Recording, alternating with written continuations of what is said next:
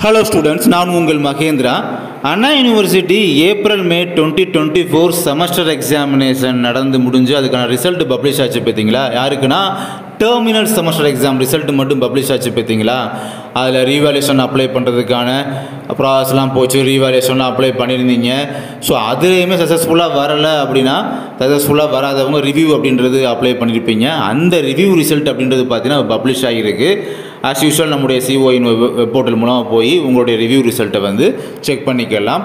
So குயிக்காகவே பார்த்தீங்கன்னா அந்த time ஃபர்தராக ப்ராசஸ் பண்ணி குயிக்காகவே இந்த ரிவ்யூ ரிசல்ட் அப்படின்ற பப்ளிஷ் பண்ணியிருக்காங்க. யூனிவர்சிட்டி சைட்லேருந்து ரிவ்யூவுக்கு அப்ளை பண்ணவங்க மட்டும் ரீவேலேஷனில் வந்து சாட்டிஸ்ஃபேக்ஷன் ஆகாமல் ரிவ்யூக்கு அப்ளை பண்ணவங்க மட்டும் உங்களுடைய ரிசல்ட்டை செக் பண்ணணும் அப்படின்னா குயிக்காக போய் நீங்கள் ரிவ்யூ ரிசல்ட்டை வந்து உடனே செக் பண்ணிடுங்க.